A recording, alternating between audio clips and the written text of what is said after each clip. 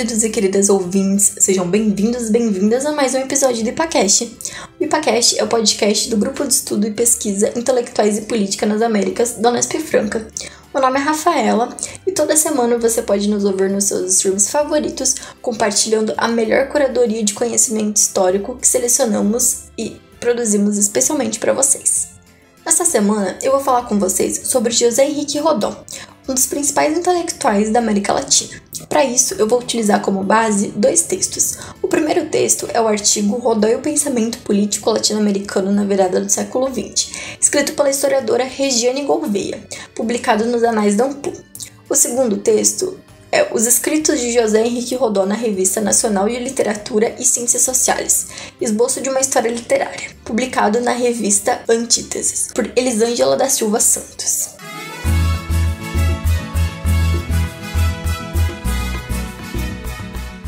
José Henrique Rodó nasceu no Uruguai em 1871 e faleceu em 1917. Ele é considerado um dos grandes nomes do pensamento político e da intelectualidade latino-americana do início do século XX. Participou ativamente da vida política de seu país. Atuou na organização do Partido Colorado, foi deputado por três mandatos, assumiu a direção da Biblioteca Nacional e foi professor de literatura por um breve período. Porém, Rodó nunca se restringiu apenas à sua nação, o Uruguai. Ele escreveu seus discursos de maneira que abrangesse toda a América, excluindo apenas os Estados Unidos. O motivo disso decorre do contexto político, social e econômico da virada do século XIX para o século XX. Mas afinal, qual era o contexto do Uruguai? Desde a sua independência em 1828, o Uruguai passou por uma fase de instabilidade política, vários golpes de Estado promovidos por caudilhos e militares, e longas guerras, como a Guerra Grande, que começou em 1839 e terminou apenas em 1851. Foi só entre os anos de 1890 e 1897 que o país vivenciou um momento mais estável de governo civil e liberdade política. Todavia, viu-se novamente abalado por um golpe e uma nova guerra civil atingiu o país. Essa guerra terminou apenas em 1904, com a morte do caudilho Aparício Saravia. Por volta de 1870, o Uruguai começou seu processo de modernização, Nessa época, a América Latina, mais especificamente a região da Prata, que abrange Argentina, Brasil, Paraguai e Uruguai, passavam por intenso processo de imigração. Segundo a interpretação de Antônio Mitre, Rodó seria o grande mediador político intelectual que, por um lado, aceitou as mudanças do sistema social e político de maneira a adaptá-las às novas condições e, por outro, buscou conservar a herança do passado como sede da identidade nacional, equilibrando assim as duas forças em conflito, a tradição e a modernidade.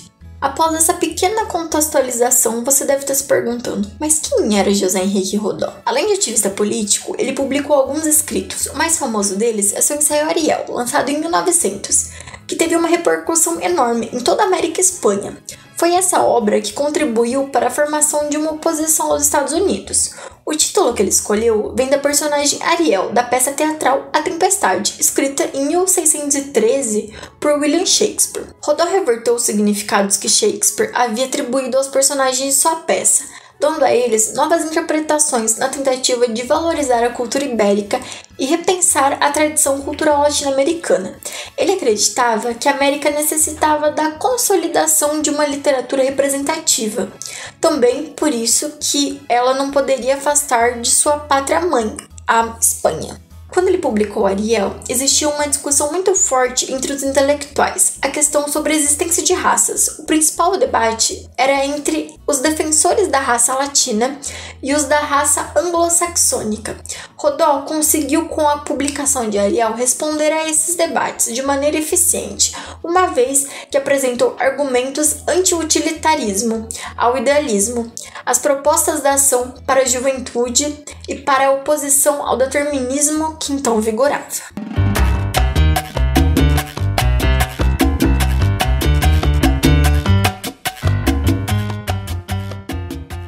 Você deve estar se perguntando, tá, mas e aí? O que tem a ver o Rodó, o utilitarismo, o determinismo?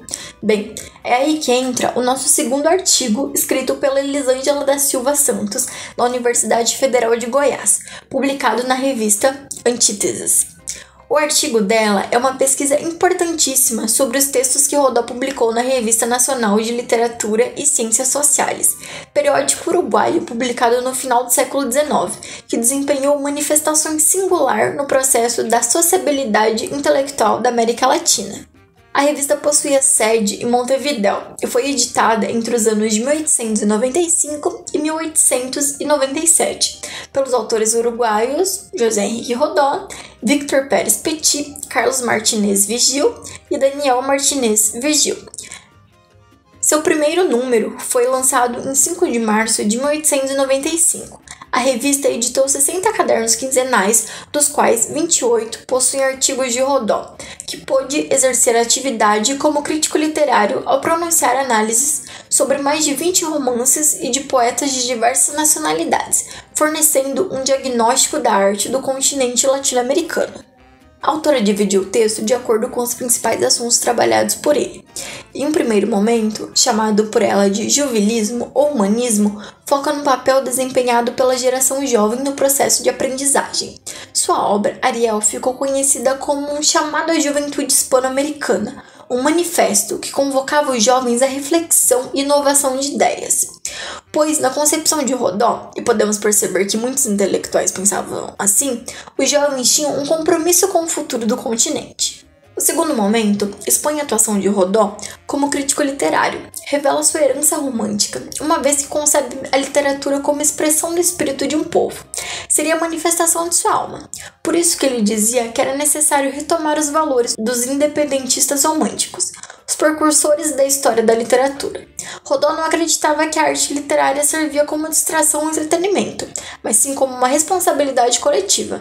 Para ele, trata-se de uma crítica que expõe seus horizontes para além do artístico, pois investiga também o ambiente, as relações sociais e políticas, faz uma observação moral, enfim, realiza um juízo da arte de forma complexa e orientadora. A revista, apesar de ter encerrado suas atividades em novembro de 1897, sendo uma das causas a designação de Rodó para preencher a cátedra de literatura da Universidade da República, abriu caminhos para a constituição da crítica literária, que ao mesmo tempo foi cenário de produção de um discurso bastante significativo na história da cultura da América Latina em toda sua extensão. No terceiro e último aspecto analisado, Elisângela observou o nascimento de seu projeto cultural, o americanismo moderno, Paralelo com a cultura europeia, mas pautado numa autenticidade americana, a independência política não significava independência cultural, e a América Latina não poderia seguir desamparada, como um servo que abdica de sua personalidade,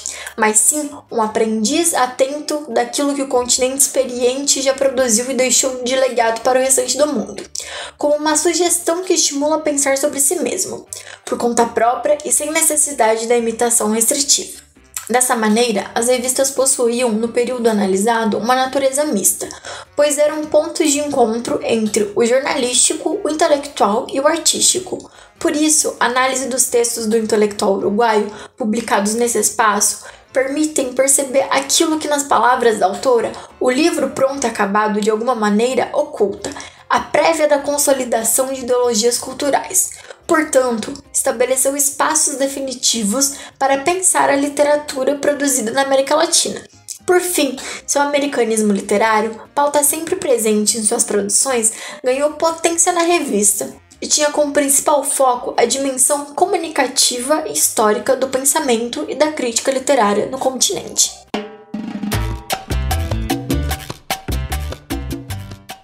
Bem, pessoal, esse foi mais um episódio do podcast. Muito obrigada quem chegou até aqui. Continue nos ouvindo, nos acompanhe nas redes sociais. E é isso aí. Adiós!